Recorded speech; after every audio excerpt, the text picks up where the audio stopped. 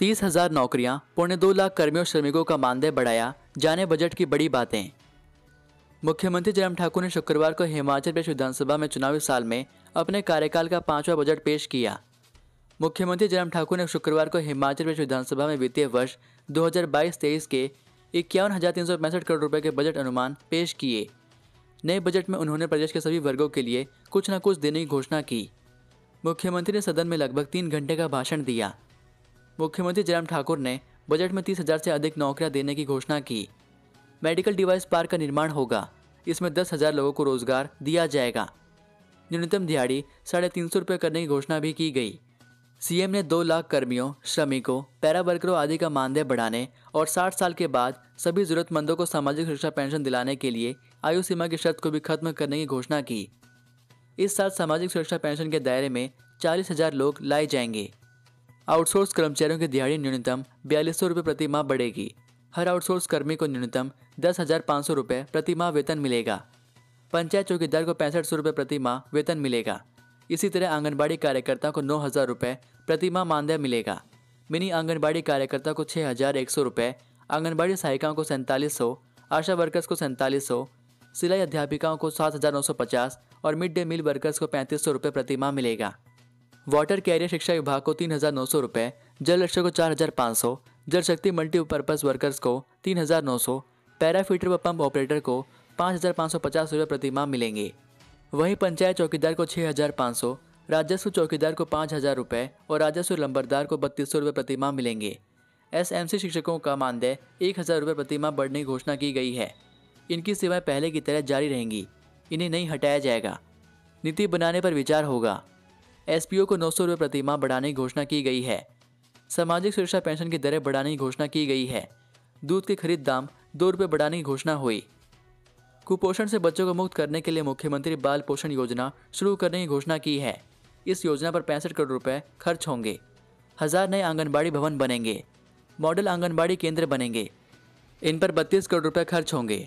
अनुसूचित जाति, ओबीसी के लोगों को जो कर्ज वापस करने की स्थिति में नहीं है ऐसे बारह हज़ार लोगों के कर्ज और जुर्माने की राशि मूलधन से वन टाइम सेटलमेंट की घोषणा की गई है। मुख्यमंत्री असहाय बाल पुनर्वास योजना शुरू होगी। वृद्धा पेंशन के लिए आयु सीमा घटाकर साठ वर्ष की गई है। साठ साल से ऊपर के सब लोगों को सामाजिक सुरक्षा पेंशन मिलेगी। आय सीमा में पूरी तरह से छूट मिलेगी। सामाजिक सुरक्षा पेंशन चालीस हज़ार नए लोगों को मिलेगी। साठ से उनहत्तर वर्ष तक के कुछ रोगियों को पेंशन 850 से हज़ार रुपये करने की घोषणा की गई। दिव्यांग विधवाओं के लिए पेंशन हज़ार से बढ़ाकर ग्यारह सौ करने की घोषणा की है। इसके अलावा, सत्तर से अधिक उम्र के बुज़ुर्गों, सत्तर फ़ीसदी से अधिक विकलांगों को पेंशन पंद्रह सौ से सत्रह सौ करने की घोषणा की गई है। बी और टेट पास शास्त्री और एलटी अब टीजीटी और स्कूल प्रवक्ता न्यू भी प्रवक्ता कहलाएँगे। टीजीटी से प्रवक्ता बने अध्यापकों को एक विकल्प दिया जाएगा। यह अध्यापक लंबे वक्त से मांग उठा रहे थे। कौशल आपके द्वार योजना शुरू की जाएगी। हिमकेयर में नए परिवारों का पंजीकरण अब पूरे वर्ष होता रहेगा व इसकी नवीनीकरण अवधि तीन वर्ष के लिए बढ़ाई जाएगी। पहले यह एक साल थी। मुख्यमंत्री मोबाइल क्लिनिक योजना शुरू करने की भी घोषणा की गई। क्लिनिक मोबाइल योजना में डॉक्टर पारिवारिक तौर पर काम करेगा। पचास और एंबुलेंस खरीदी जाएँगी। स्वास्थ्य विभाग में विशेषज्ञ डॉक्टर डॉक्टर, नर्से, रेडियोग्राफर, ओटी सहायक, लैब तकनीशियन, डेंटल हाइजीनिस्ट, फार्मासिस्ट, एमआरआई तकनीशियन, ईसीजी तकनीशियन व अन्य तकनीशियनों के 500 से अधिक पद भरे जाएँगे। 780 आशा कार्यकर्ताओं के नए पद भरे जाएँगे। साथ ही चार सौ सैंतीस पद आशा फैसिलिटेटर व सामुदायिक स्वास्थ्य अधिकारी के आठ सौ सत्तर पद भी भरे जाएँगे। राष्ट्रीय स्वास्थ्य मिशन के तहत विभिन्न श्रेणियों के दो पद भरे जाएँगे। हमीरपुर, नाहन, चंबा तथा नैरचौक में स्थित नए आयुर्विज्ञान महाविद्यालय में समुचित फैकल्टी व अन्य श्रेणियों के पद भरे जाएँगे। महापौर नगर निगम को पंद्रह हज़ार रुपये प्रति माह, उप महापौर दस हज़ार, पार्षद नगर निगम छः हज़ार पचास, अध्यक्ष नगर परिषद आठ हज़ार, उपाध्यक्ष नगर परिषद छः हज़ार पाँच सौ पार्षद नगर परिषद तीन हज़ार, प्रधान नगर पंचायत छः हज़ार पाँच सौ, उप प्रधान नगर पंचायत पाँच हज़ार और सदस्य नगर पंचायत को तीन हज़ार रुपये प्रतिमा मानदेय दिया जाएगा। जिला परिषद अध्यक्ष को पंद्रह हज़ार रुपये, उपाध्यक्ष दस हज़ार, सदस्य जिला परिषद छः हज़ार, पंचायत समिति अध्यक्ष नौ हज़ार, उपाध्यक्ष पंचायत समिति छः हज़ार पाँच सौ पचास, सदस्य पंचायत समिति पाँच हज़ार पाँच सौ पचास, प्रधान ग्राम पंचायत पाँच हज़ार पाँच सौ पचास रुपये उप प्रधान को पैंतीस सौ प्रति माह और सदस्य ग्राम पंचायत प्रति बैठक अब तीन सौ मिलेंगे। मुख्यमंत्री महिला सशक्तिकरण योजना की घोषणा की गई।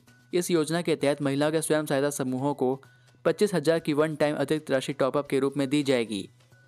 हिमाचल की औद्योगिक नीति की अवधि दिसंबर 2025 तक बढ़ाने की घोषणा की गई है। परिवहन करों का पड़ोसी राज्यों के करों से युक्तिकरण होगा। ड्रोन तकनीक के इस्तेमाल को बढ़ाने और प्रशिक्षण के लिए नई गरुड़ योजना शुरू होगी। स्वर कोकिला लता मंगेशकर की स्मृति में एक संगीत महाविद्यालय खोला जाएगा। साथ ही कलाकारों के लिए स्वर कोकिला के नाम पर पुरस्कार योजना शुरू होगी। 2022-23 के लिए बारह करोड़ रुपए के विकासात्मक परिव्यय प्रस्तावित हैं। इनमें से राज्य विकासात्मक बजट परिव्यय 9,524 करोड़ रुपए के प्रस्तावित हैं। अनुसूचित जाति विकास कार्यक्रम के लिए 2,400 करोड़ रुपए तथा जनजातीय विकास कार्यक्रम के लिए आठ सौ छप्पन करोड़ रुपए के परिव्यय प्रस्तावित हैं। पिछड़ा क्षेत्र विकास कार्यक्रम के लिए 100 करोड़ बावन लाख रुपए के परिव्यय प्रस्तावित हैं। नाबार्ड से पोषित की जाने वाली विधायक प्राथमिकता योजनाओं के लिए प्रति विधानसभा चुनाव क्षेत्र की वर्तमान सीमा को बढ़ाकर डेढ़ सौ करोड़ रुपए कर दिया जाएगा, जो कि 2017-18 की सीमा से लगभग दो गुना है। नाबार्ड से पोषित की जाने वाली विधायक प्राथमिकता योजनाओं में 2022-23 से विधायक रोपवे परियोजनाएँ सम्मिलित कर सकेंगे। विधायक क्षेत्र विकास निधि योजना के तहत प्रति विधानसभा क्षेत्र राशि को एक करोड़ अस्सी लाख रुपए से बढ़ाकर दो करोड़ रुपए कर दिया जाएगा। इस वृद्धि के साथ ही वर्तमान सरकार के कार्यकाल में इस निधि में कुल नब्बे लाख रुपए प्रत्येक विधानसभा चुनाव क्षेत्र की वृद्धि हो जाएगी, जो कि लगभग दोगुनी है। विधायक ऐच्छिक निधि दस लाख से बढ़ाकर बारह लाख रुपए प्रति विधानसभा चुनाव क्षेत्र कर दिया जाएगा। कृषि सखी, पशु सखी, कृषि उद्योग सखी, वित्त सखी, बैंक सखी आदि को पाँच सौ प्रतिदिन मानदेय मिलेगा। प्रधानमंत्री सुरक्षा बीमा योजना और प्रधानमंत्री जीवन ज्योति बीमा योजना के तहत वार्षिक प्रीमियम राज्य सरकार की ओर से वहन किया जाएगा। विधवा पुनर्विवाह योजना में अनुदान राशि बढ़ाकर पैंसठ हज़ार रुपये कर दी गई। मुख्यमंत्री बाल उद्धार योजना के तहत अनुदान राशि बढ़ाकर पैंतीस हज़ार रुपये की गई। सरकारी प्राथमिक पाठशाला में तीन से छः वर्ष की आयु के बच्चों के लिए प्री प्राइमरी कक्षाएँ शुरू होंगी। प्रधानमंत्री ग्राम सड़क योजना के तहत 300 किलोमीटर लंबी नई सड़कें 1200 किलोमीटर सड़कों का उन्नयन 23 पुलों का निर्माण 315 किलोमीटर क्रॉस तथा 22 आबादियों को सड़क से जोड़ा जाएगा। 60 किलोमीटर लंबी सड़कों पर चिन्हित ब्लैक स्पॉट्स को सुरक्षित किया जाएगा। सड़कों की उम्र व गुणवत्ता बढ़ाने के लिए जियो सामग्री तकनीक का इस्तेमाल किया जाएगा। एक हज़ार साठ किलोमीटर लंबी वाहन योग्य सड़कों का निर्माण, दो हज़ार पैंसठ किलोमीटर लंबी सड़कों का पक्का करना 990 किलोमीटर लंबी सड़कों पर क्रॉस ड्रेनेज, पचहत्तर पुलों का निर्माण 20 पंचायतों 80 गाँव व 22 आबादियों को सड़क से जोड़ने का लक्ष्य तय किया गया है। 2200 किलोमीटर लंबी सड़कों का आवधिक रखरखाव किया जाएगा। पराला मंडी को आदर्श मंडी के रूप में विकसित किया जा रहा है। फल और सब्जियों के भंडारण की सुविधाओं में और अधिक बेहतरी के लिए इस मंडी में 60 करोड़ तिरानवे लाख रुपए की लागत से 5000 मीट्रिक टन क्षमता का एक नया कोल्ड स्टोर स्थापित किया जाएगा। इसके साथ ही 1500 मीट्रिक टन क्षमता का फ्रीजिंग चैम्बर 10 मीट्रिक टन प्रति घंटा क्षमता की ग्रेडिंग पैकिंग लाइन और 1 मीट्रिक टन प्रति घंटा क्षमता की आईक्यूएफ लाइन स्थापित की जाएगी। एचआरटीसी के बेड़े में अप्रैल माह तक 220 नई बसें शामिल की जाएँगी। 2022-23 में 200 नई बसें खरीदी जाएँगी। इनमें से 50 छोटी इलेक्ट्रिक बसें स्मार्ट सिटी मिशन के तहत खरीदी जाएँगी। प्रदेश में इलेक्ट्रिक वाहन एवं घटक निर्माण पार्क स्थापित किया जाएगा।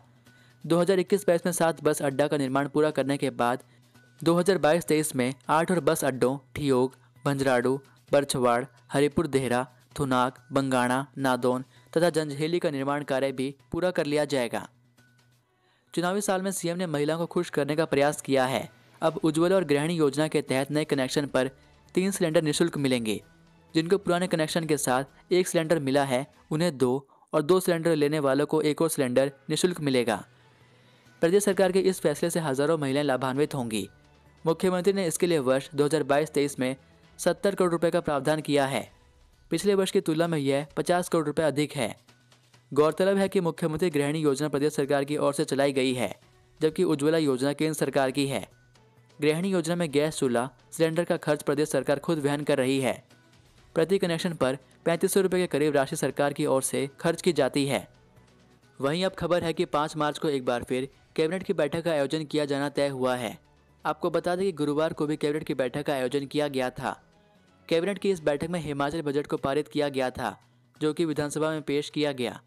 यह कैबिनेट बैठक मुख्यमंत्री जयराम ठाकुर की अध्यक्षता में हिमाचल प्रदेश विधानसभा सचिवालय के मुख्य समिति कक्ष में होगी। बैठक विधानसभा सत्र के बाद होगी। बैठक में विभिन्न मुद्दों पर चर्चा होगी। इसके अलावा महत्वपूर्ण निर्णय भी लिए जा सकते हैं। इसी के साथ, यदि आपको ये वीडियो पसंद आई हो तो वीडियो को लाइक ज़रूर करें और चैनल पर नए हैं तो चैनल को प्लीज़ सब्सक्राइब ज़रूर कर लें। चलिए, मिलता हूँ आपको अगली वीडियो में। तब तक के लिए जय हिंद, जय भारत।